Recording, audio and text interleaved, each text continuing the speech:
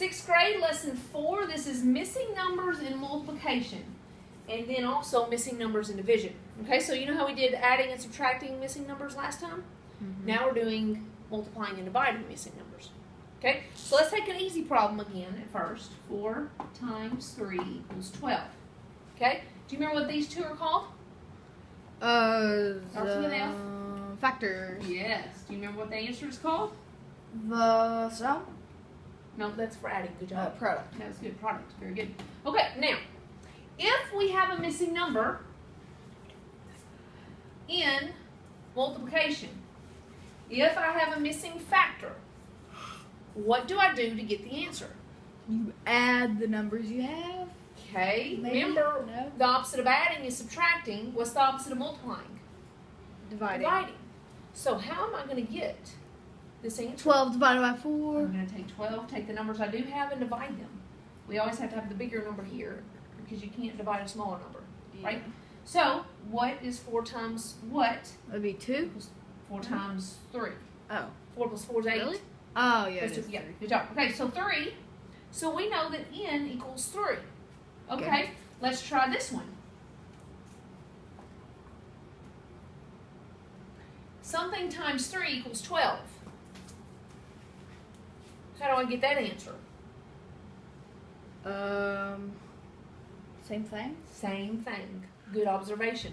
Okay, so when you have missing factors, remember they're both, these are both factors. Just like adding has both addends. Addends. Okay, so the rule here is when you have a missing, write this down. Oh. A missing um, number in multiplication, Missing factor. huh? Did I write factor? Yeah, missing factor. If you have a missing factor in multiplication, you will always divide to get your answer. Always. Always divide. Divide. Okay. Okay? Got it? Okay. Now, we could use the common sense rule, if you don't remember that, and go, okay, here's my biggest number. If I, do I need a bigger number here and then multiply it by 3 to get this? No. I need a smaller number than 12. Remember, you always look at your biggest number. Do I need a bigger number here or a smaller number than 12? oh, you need We a need a bigger, Well, right? if I have a bigger Oh, bigger 12, number than three, but a smaller number. now listen, if I did bigger than 12, let's say 13, 13 times 3, is that going to equal 12? No. No. So I need a smaller number than 12 up here. Yeah. Smaller, how do you get smaller? Dividing something out or multiplying? You need uh dividing. Uh, dividing. Dividing makes smaller, multiplying makes bigger. Subtracting makes smaller. Subtracting makes smaller, adding makes bigger. You get it? Yeah. They're kind of hand in hand. They kind of go hand in hand.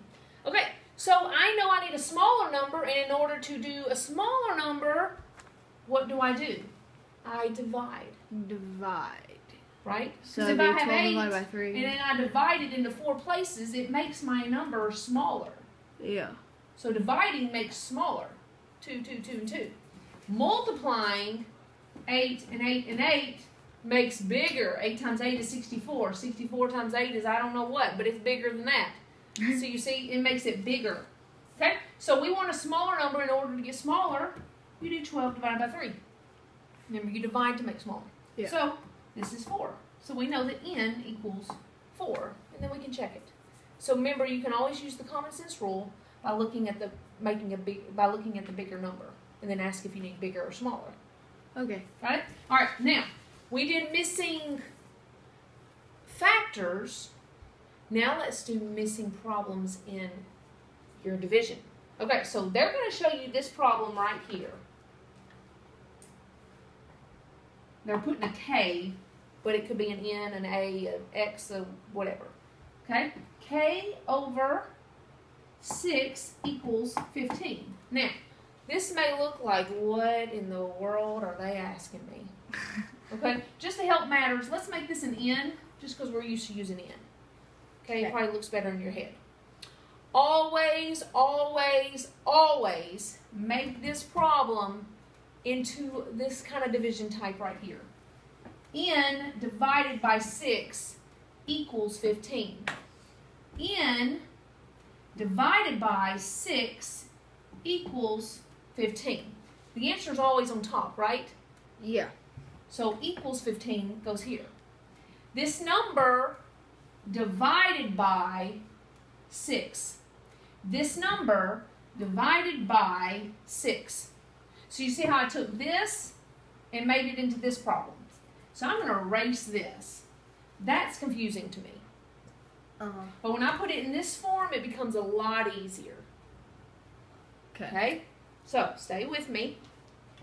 So what we had is I'm missing what? Do you remember what this number in the middle is called right here, Eli? Uh, it's the dividend. Dividend. Okay, so I'm going to write that down. Dividend is on the inside. Good. What's on the outside? Divisor. Divisor. Excellent job. And what's the answer? Quotient. Quotient. Okay. Now, Okay. do you remember? Let's look at the biggest number. What's my biggest, number? It would be the divisor. Right now, it's the the, the quote. Oh. 15 is my biggest Divisor number. Okay. six. Am I going to need a bigger number than 15 to go here? Now, stay with me. if I'm saying Um, 6 times something equals this, Uh huh. what's this number going to have to be? Bigger or smaller? Bigger, right? Bigger. And how do you get bigger? You. You multiply or divide? Add. no, no, no. This is multiplying or dividing. Multiply. Because we're working with dividing problems, you're either going to multiply or you're going to divide. When Yeah. you're working with adding or subtracting problems, you're either going to add or you're subtract. Okay? So I need a bigger or smaller? Uh, bigger. I need bigger. How do I get bigger? Multiply. Yep. What do I multiply? You multiply. The numbers I multiply. have. Yeah. 15 times 6. 6 times 5 is 30. 6 times 1 is 6. 7, 8, 9. 90. Let's see if that works. That's a big number. Okay, I do it just like I would do a normal problems. 6 times what equals 9? 6 times 1. equals nine minus. Bring down the 0. 6 will go into 30. Um. 5 times. Yeah, that's right. So did I get it right? Mhm. N equals 90. Now, so what you need to know is that this is a rule. When you have a missing dividend, what will you Ooh. do to get the answer? you multiply. You multiply. So if you want to write Oh. down that rule, Whoa. I would write down that rule if I were you. But remember, if you don't remember the rule, you can use the common sense method. Thing. Yeah. Okay? Multiply. Multiply. Okay. Okay, now stay with me. This time, I am going to write this differently. Instead of the n being on top, like that. Oh, I'm sorry, I did that wrong. Like that, and we made it um, n, which was our 90, divided by 6 equals 15. Okay, this time I'm going to put the n on the bottom. Which would be the. So let help me write it over. Help it Dividend is the n, right? This is No, that's the divisor. this is divisor. Okay, so help me out. Okay. Ninety divided by n Okay. equals fifteen. Okay. Okay, How would you do this? so help me out. Okay, look at the biggest number, which is what Uh, 90. ninety. Do I need a bigger number than ninety to go here? Let's say ninety-one. If I take ninety-one and multiply it by this, is that going to give me a ninety? Uh, yes. No, no, listen. Wait, wait. If I take a bigger number, I'm Oh, asking, do I need a bigger no. or small? If I take bigger than 90, let's say 91, and I multiply it, because remember you Yeah, take this number and you multiply it by this one. If I take 91 and multiply it by 115, am I going to get close to 90 as my answer? No. No. So I need a smaller number than 90 to go here.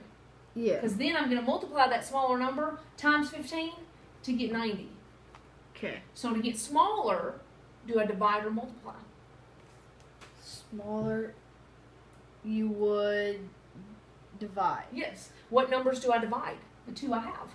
So let's rewrite this problem. I'm going to take 90 and divide it by 15 to get my answer. Mm. And then divide that. So let's take 15 times what equals 90? Um, We already know that it's 6. Okay. That was kind of easier because I know my answer is 6 because we did it a while ago. Okay. So 6. Let's do 15 times 6 over here. Yep, it equals 90. So 6 is my answer. Okay? So let's try that. Does n equal 6? Let's try. Okay? So now I'll go 6 times 1, 6. Bring down my 0. 6 times 5 is 30. And I know I'm done. okay. Okay, but if you don't, okay, so let me help me come up with the rule on this one. When I have a missing divisor, I will always divide to get my answer. And again, if you don't remember the rule, it's okay. Because you can use the common sense one. Sor. Divisor. Divide. Okay. Okay? Okay. Like you got it? Mm-hmm. Okay, that is lesson four.